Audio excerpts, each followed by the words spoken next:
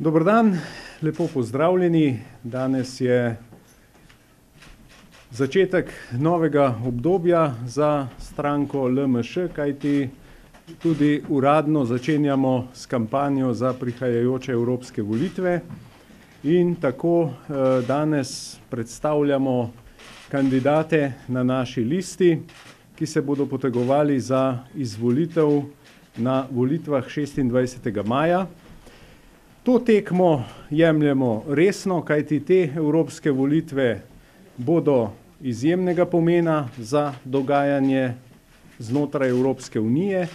Sicer velikokrat slišimo, kako so te volitve prelomne, velikokrat slišimo, da je Evropska unija na razpotju, vendar imam včasih občutek, da pa politika ne stori vedno tistega, kar bi morala, zato da bi tudi dejansko se tudi znotraj Evropske unije začela mogoče drugačna miselnost, tudi določene spremembe. Kajti če želimo ohraniti Evropsko unijo in jo tudi moramo, kajti brez Evropske unije si ne predstavljam življenja na stari celini, potem moramo biti aktivni. Največ škode evropski povezanosti lahko naredimo s svojo neaktivnostjo. Zato je prav, da gremo na volitve, zato je prav, da jasno izrazimo svojo voljo, in zato je prav, da imajo slovenske volivke in volivci tudi možnost izbire.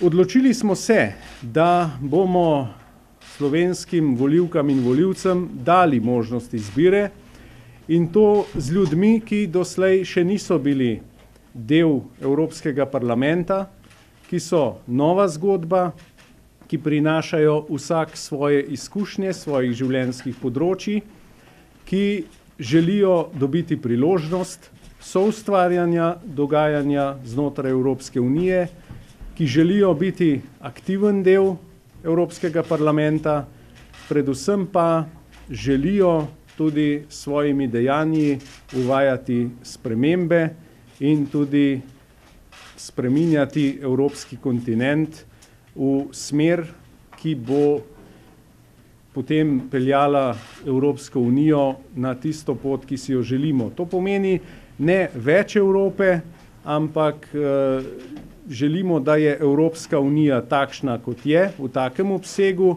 se pravi, ne želimo federalizma, ne želimo, da bi se morale države odreči svoji suverenosti do te mere, da bi se vse vodilo z istega centra, ampak prav pa je, da dobimo Evropo, ki bo po meri njenih državljank in državljanov, in Evropska unija bo lahko to dosegla samo z ljudmi, ki politiko jemljejo resno, ki jih resno skrbi za prihodnost, in mislim, da ljudje, ki so na naši listi oziroma ki jih boste lahko tudi obkrožili na volitvah šestindvajsetega maja, to izražajo in da vas ne bodo razočarali. Slovenske volivke in volivci imajo tako priložnost in možnost izbire, predvsem pa je pomembno, da gredo na volitve, kajti največ škode ali pa težav naredi tisti, ki ostane doma.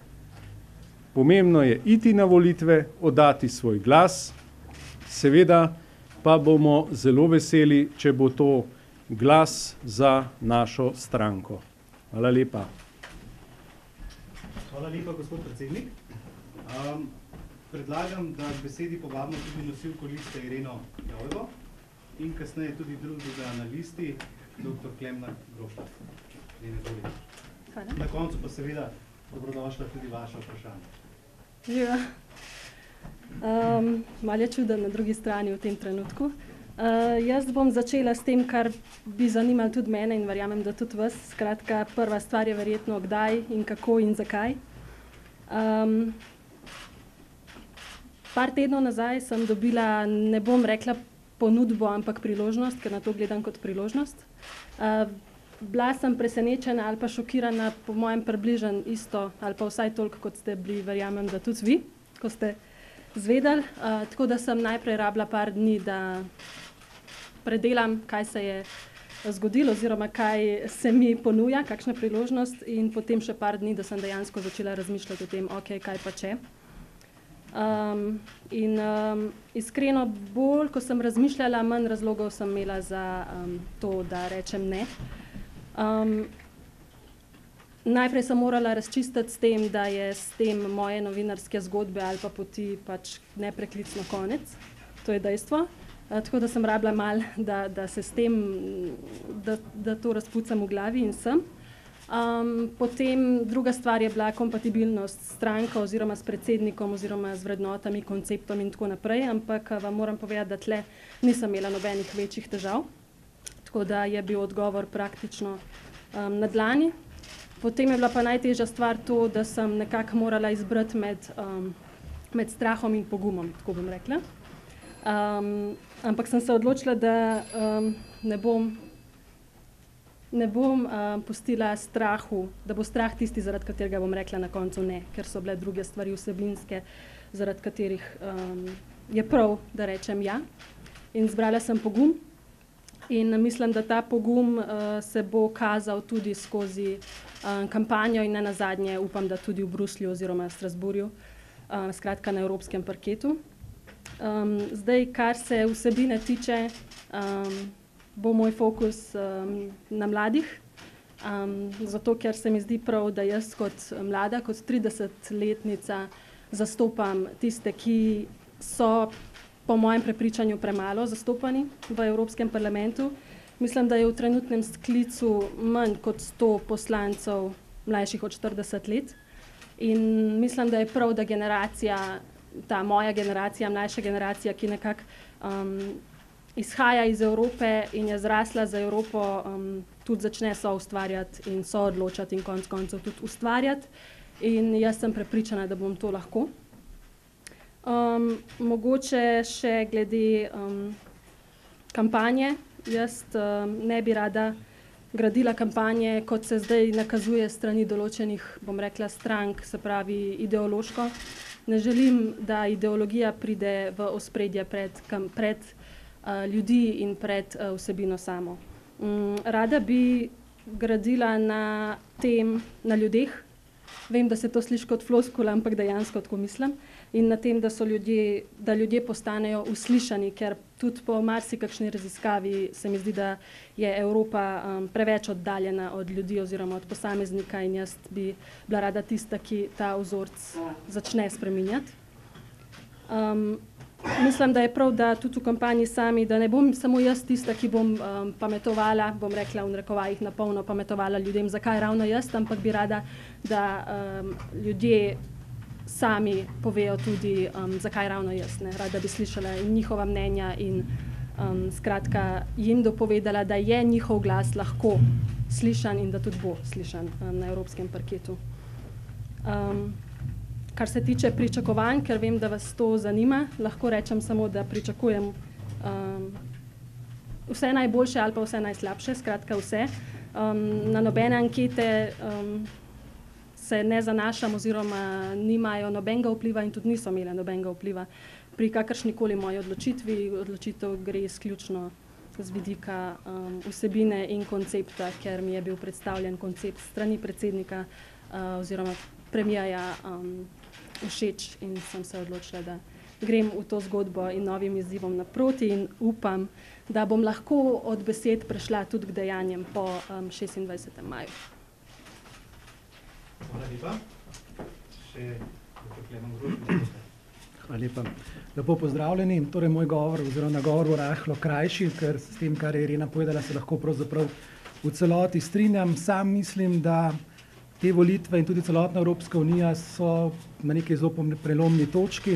Vsi vidimo, kakšno je dogajanje v svetu, kakšen je položaj Evropske unije. Sam menim, da to, kar se bo dogajalo v prihodnosti, bo pomembno oblikovalo in tudi evropske volitve bodo pomembno oblikovale položaj Evropske unije v svetu, v svetu, ki postaja, kot vidite, vedno bolj tekmovalen in ki so tekmovanje velikih sil in, in Evropska unija si bo v tem kontekstu pač morala poiskati svoje mesto.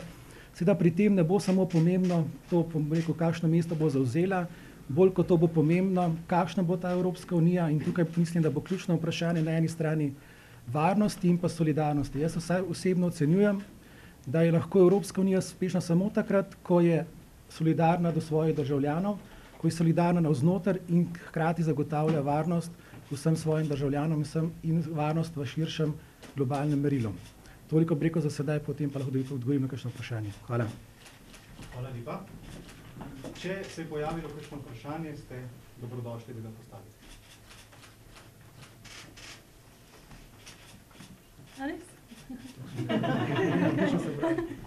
to, potem pa hvala lepa vsem kandidatkam in kandidatom in tudi gospodu predsedniku. Mogoče dve besedi. Glede na to, da me je Društvo novinarjev Slovenije zadnjič malo okrcalo, ker nisem imel vprašanj na eni izjavi za javnost, ne smem reči tiskovni konferenci, ker ni bilo vprašanj, bi bil danes vesel kakšnega vprašanja. Eno vprašanje lahko. A je ob tem, da imate listo kaj znano, kakšne načrte finančno imate za to kampanjo, koliko boste vanjo investirali? Več kot nič in manj kot sto tisoč. Nimamo, nimamo, gospod Jančič, še točno razdelano, seveda bo pa, bo pa naša kampanja takšna, kot je bila doslej, se pravi, ne bomo financirani iz tujine in pa bom rekel, zapravili bomo toliko, kot bomo ustvarili. Dajte čim bolj konkretni glede rezultata. Slišimo, ne, ne zanašate se na javnomnenjske ankete, ki vam napovedujejo celo zmago, ampak vendarle vsaka politična stranka gre z nekim ciljem na vsake volitve. Kakšen je cilj LMŠ-ja na evropskih volitvah? Naš cilj je kot vedno čim boljši rezultat, ne morem nič drugega reči, ker konkretni bodo volivke in volivci, ki bodo odšli takrat ali pa bomo odšli na volitve in takrat bo konkretno videno, drugače pa naprej napovedovati, pa saj veste, kako je. Saj ni napovedovati, na koliko, recimo s koliko evroposlanci bi bili vi osebno zadovoljni? Mi bomo veseli, če bo rezultat čim boljši. Jaz bi prosil samo, če lahko še predstavite ostale kandidate, ker jih namreč ne poznamo, ne. Zdaj novinarsko kolegico poznamo, pa gospoda Grošlja, ostalih pa sploh ne vemo, kdo so. Predstavitve boste dobili natančne tudi po elektronski pošti, tako da bo vse točno opisano, kdo so naše kandidatke in kandidati, ker nismo želeli danes predolgo jih predstavljati, boste pa vse dobili v pisni obliki in seveda potem tudi vnaprej tekom kampanje bo. Ja, seveda. Glede na konkurenco Ja.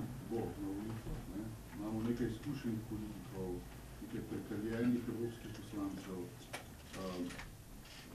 Kako ocenjujete ta vaš izbor? Je to formula, ki lahko po vašem prinese zmago, ali mogoče ta formula prevelika, preveč, je preveč neznank tukaj, ne, je lahko, lahko tudi ne uspe? No. Ker ste ta, ta riziko nekako vgradili vse to svojo matematiko. Saj veste, vedno, ko se lotiš nekega projekta, obstaja možnost, da ne uspe, ampak mi ne gledamo na ta način. Bi pa takole povedal, glede na to, da smo imeli v parlamentarni kampanji, smo ves čas poslušali, kako nismo izkušeni, kako nič ne znamo, nič ne vemo. Danes se je pokazalo, da vendarle nekaj znamo in da znamo tudi vlado voditi, tako da dajemo volivkam in volivcem drugo priložnost, da dajo nam priložnost soustvarjati tudi v Evropski uniji. Zato je vaše vprašanje seveda na mestu, seveda bodo tam izkušeni ljudje, bodo tudi ljudje, ki se potegujejo že za tretji mandat, in se tega popolnoma zavedamo, ampak naša miselnost, zdaj jo že poznate, je, da je treba dati priložnost novim ljudem, da je treba dati priložnost tudi mladim, pa nimamo samo mladih, imamo tudi nekoliko zrelejšo generacijo, tako da mi bomo delali za vse. Ljudje so nas doslej že lahko spoznali, verjamem, da so bili na parlamentarnih volitvah skeptični, to je njihova pravica, tokrat pa dajemo še eno možnost. Tako mi gledamo, zdaj, če bo to uspešno, bomo seveda videli, ampak saj veste, to je tako kot poslati skladbo na Eurosong, težko veš, kaj je zmagovalna formula. No, mi se s tem ne ukvarjamo, kako se bodo delili glasovi. Mi imamo danes tukaj uh, svojo listo, s katero želimo doseči čim boljši rezultat. Uh, če nam bodo volivke in volivci zaupali svoj glas, potem bomo uspešni in bomo lahko tudi delali. Uh, da bi se pa zdaj ukvarjali z neko razpršitvijo, seveda beremo lahko takšne drugačne analize, vendar uh, če hočemo ljudem predstaviti svojo pot, če želimo eh, biti uspešni in pa izvajati politiko takšno, kot mislimo, da je prava, potem eh, se ne smemo ali pa ne moremo ukvarjati z drugimi, temveč zgolj sami s sabo in svojo predstavitvijo.